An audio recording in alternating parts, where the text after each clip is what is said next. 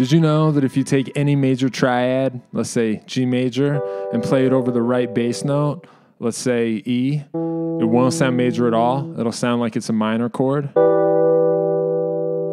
And that low E note doesn't even need to sound like it's the same instrument. Any low E note will make it work. You can actually make a major triad sound like any type of chord, not just minor. And in this video, I'm going to tell you how and also show you some creative things you can do with that. And then we're going to look at a Stevie Wonder song to see how all of this can be applied.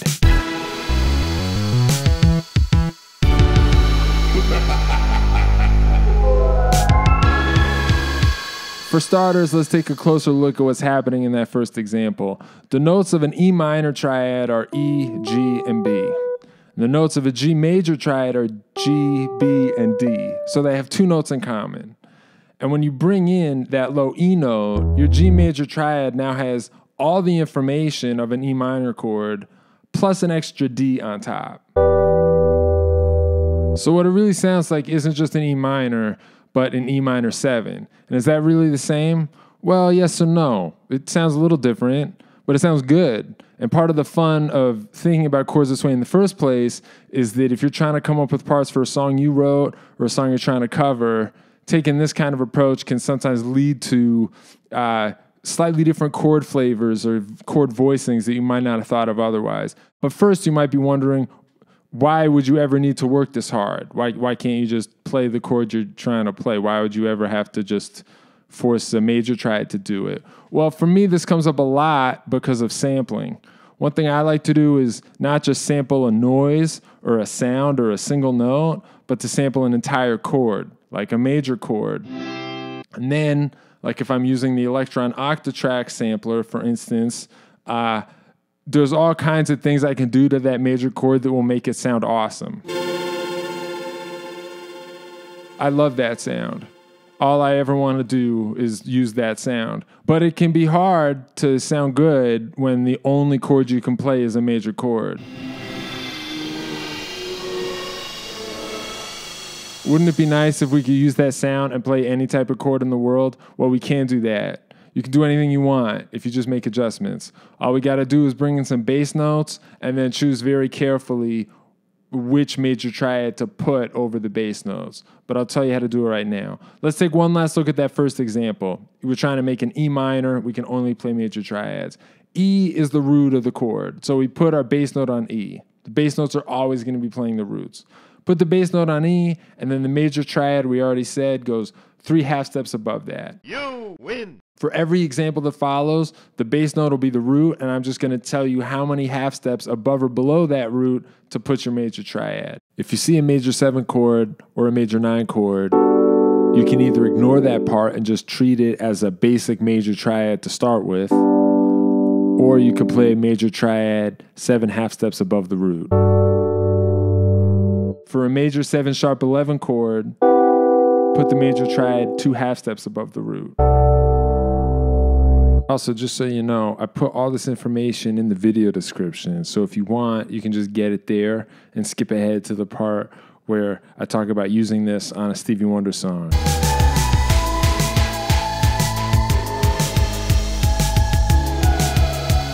Otherwise, I'm just going to finish doing this chart. If you see minor 6, minor 7, minor 9, or minor 11, you can again just ignore those numbers and treat it as a basic minor chord and again, the rule for that is play a major triad three half steps above the root.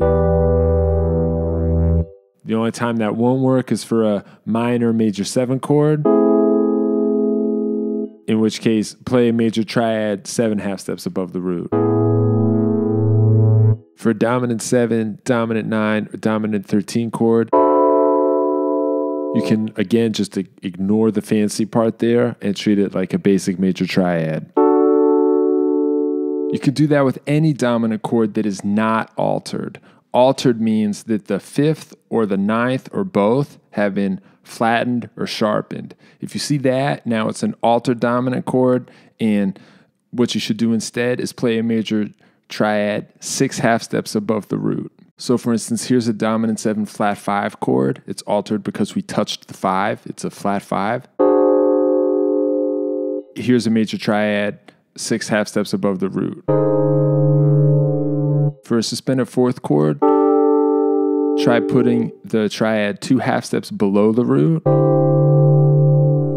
And if that doesn't sound right, try putting it five half steps above the root.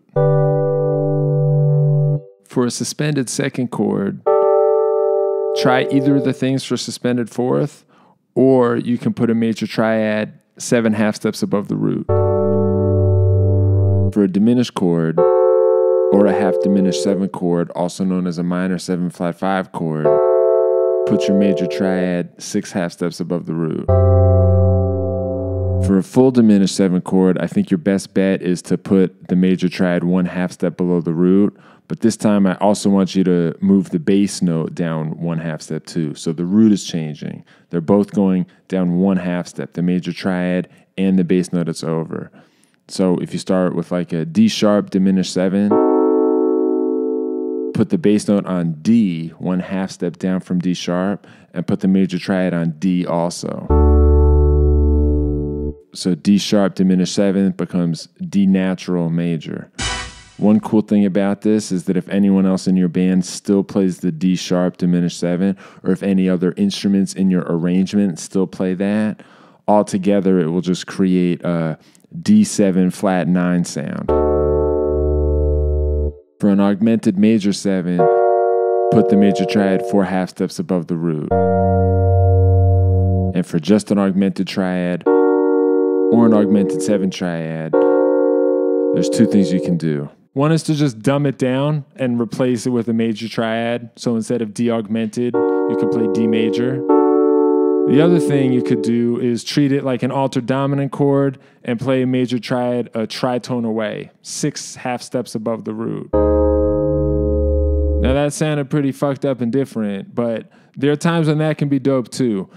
But instead of talking about it, let's switch to working on an example where that actually comes up. Um, let's pick a song that I'm going to try to cover using my Octatrack so I can only play major triads, and we'll rewrite the entire chord progression of the song to make it work. And the song we're to do is Isn't She Lovely by Stevie Wonder. Chords in this song are C sharp minor 7, F sharp dominant 7, B suspended 4, E major. And then C sharp minor 7 again, F sharp 7, B suspended 4th again, E major. Then it goes to A major 9, beautiful, G sharp dominant 7, flat 9. In fact, I think it might be a G sharp dominant 7, sharp 5, flat 9. You gotta love Stevie Wonder for sticking that chord in everybody's face and making it sound good. Let's listen again. Okay, then it goes C sharp minor 7, F sharp dominant 7, B suspended 4th,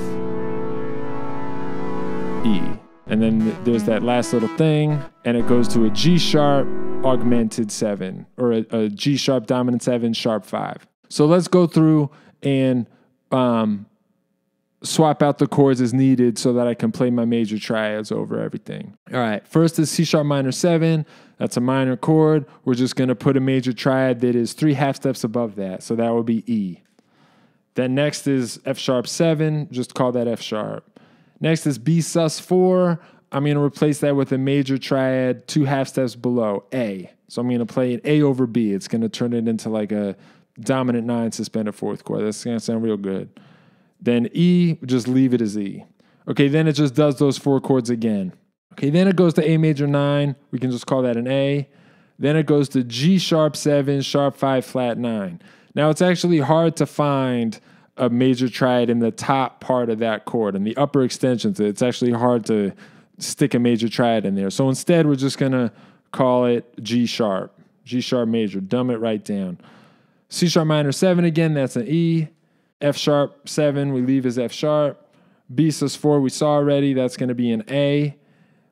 E major, we leave as E. And then at the end, we have the G sharp 7, sharp 5, or the G augmented 7. For now, let's just dumb that down and call it a G sharp. Here's what it sounds like if I program my Octatrack to play all that using the chord substitutions with the bass notes that'll make everything sound like the original version.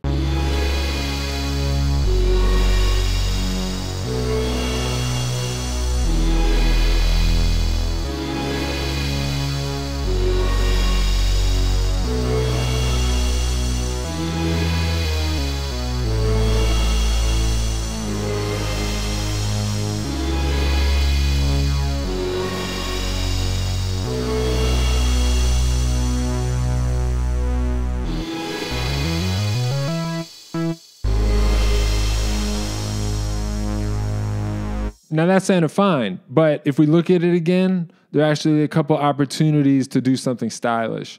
One is in the first part when the progression loops back around, I end up playing an E major followed by a C sharp minor seven. But I'm already using E major to make my C sharp minor seven. So I end up playing two E major triads in a row. And the bass note is the only thing that conveys the chord change there. So if I want to make it sound like more of a change, one thing we can do is just go in and insert another chord change. Now, is it really okay to do something like that? Well, sure, you could do whatever you want as long as it sounds good. And I think this is going to sound fine because all we're going to do is insert a little B major inversion right there. We're going to do this walk down thing where it goes from E major to B major over D sharp to C sharp minor 7. Okay, there's another stylish thing we can do. There's that A major 9 chord. Um, right now, I'm just playing that as an A major. But if you look at the top of an A major 9, there's like an E major in there too, up at the extension. So let's play E major there instead of A major. Okay, I think that sounds cool. And then at the end, uh, there's the augmented 7 chord which we dumbed down to just a G sharp major.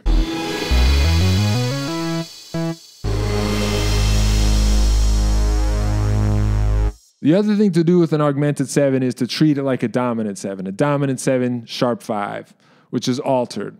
So instead of dumbing it down, which is taking out some of the tension, we could go really far in the other direction and add a lot of tension, which would be to uh, take a major triad that's a tritone away. So instead of G sharp, we're going to play D major over G sharp.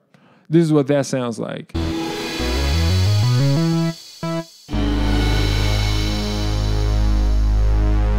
Now, I didn't hate that. It didn't really sound like an augmented chord anymore, but it had the same function. And the function is fuck you right? The, the function is just a whole lot of dominant style tension that makes you want it to resolve to the top of the form. And that's what it does. It's just this sort of like horrible moment of dominant seven atrocity with a lot of tritones in it. And then as soon as we get back to the top of the form and we hear that nice, smooth C sharp minor seven chord, all is forgiven. So for my little arrangement, that's what I did. But before I play for you, there's another thing we got to talk about, which is that I got my Octatrack that I've been using for this whole video from BuyOrBorrow Music. BuyOrBorrow Music is a monthly subscription service you can sign up for where you can try any gear you want. They'll send it to you, you do what you got to do, then you send it back and you get the next thing on your list. And if you want to keep any of it, you can buy it at a discount. And if you want to try it out, you can use the promotional code CYBERATTACK to get 20% off your first month. Okay, now here's my little arrangement of Isn't She Lovely?